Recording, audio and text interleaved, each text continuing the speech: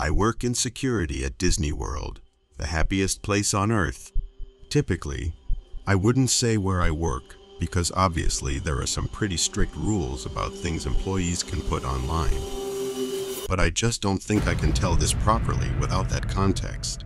And honestly, I think this may be it for me anyway with this job. I just can't see myself working here any longer now. I've been with the company for 23 years. The first 20 years I worked in the parks, nabbing shoplifters and rounding up people who were drinking too much. Occasionally, there'd be a fight to break up, but people usually kept it pretty mild. The heat and walking were getting too much for me the last few years, so I asked to be transferred somewhere with air conditioning, so the company moved me to one of their resorts. While the working conditions were 110% better as far as climate and comfort go, the guest issues were trickier, mainly domestics. I guess the expenses and stress of vacation got to a lot of people. I'd be called by neighboring rooms because some mom and dad were yelling at each other. I'd tried to suggest they take a nap or go do separate activities for a bit, and that would usually calm them down. But none of that is what I'm here for.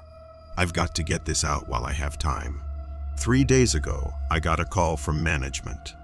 Apparently, a couple of days before that, housekeeping had gone into a room that should have been turned over meaning one guest leaves by about 11 a.m. and the next guest checks in around 3 p.m. But all of the previous guests' items were still in the room. Housekeeping made a note of it and moved on. But during the next two days when they entered the room, everything was still there and untouched. I went to check it out, and sure enough, there was an empty room full of luggage, clothes, snacks, some toys, everything a family would need for a vacation. The manager had already looked up the previous reservation, and it was for a family. Dad, mom, two little kids. I tried to call the phone numbers they had given, but all I got was voicemail. We were a bit stumped, so I made the call that the housekeeper could clean the room and take the family's personal items to be held until we got in contact with someone. I went digging into the reservation more. The family had arrived five days before housekeeping discovered all of their stuff. I found that the family had paid a parking fee, and their vehicle description was listed.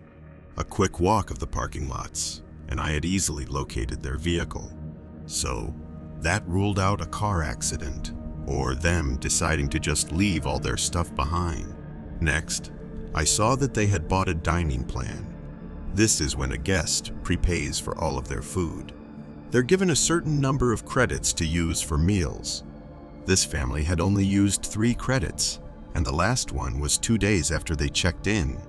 It appeared that the day they arrived, they got here late and probably just stayed on the resort. The next day, they used two credits at Epcot. The second park day, they used just one credit at the Magic Kingdom, and it was at breakfast time. Now at Disney, we have something called Magic Bands. Magic bands are worn by the guests and act as a room key. Park ticket, credit card, dining reservation payment, fast pass. A system used to bypass lines and more. It took some work, but I was finally able to look up this family's fast pass history. The day they went to the Magic Kingdom, they had breakfast at a restaurant in the park, rode a couple of rides, and then rode their last ride, It's a Small World, around 11 a.m. Then nothing. Finally, it was time to bring someone else in on this. I called an old coworker at the Magic Kingdom and asked him to pull security footage for It's a Small World at the time they rode it.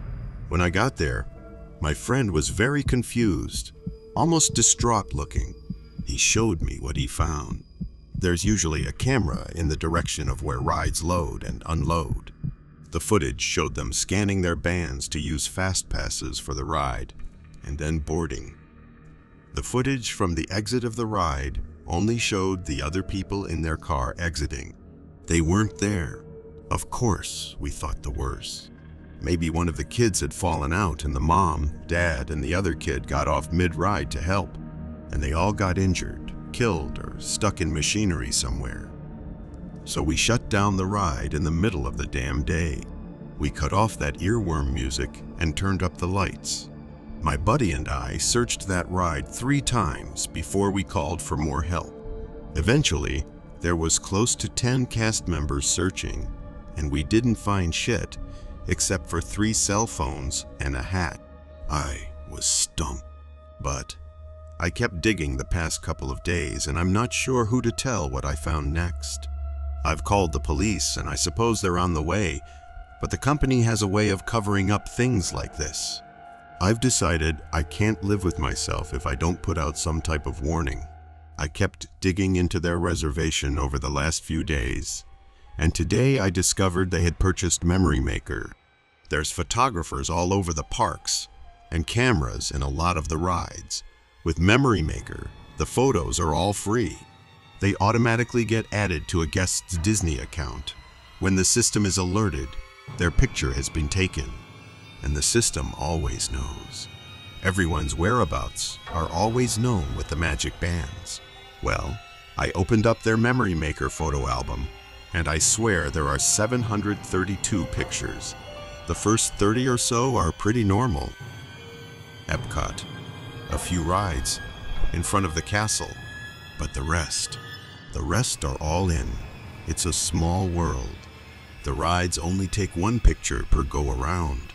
So it appears as though this family has ridden this ride over 700 times. The first picture was pretty normal. Everyone looked happy. It was a busy day, and we had a car full of guests.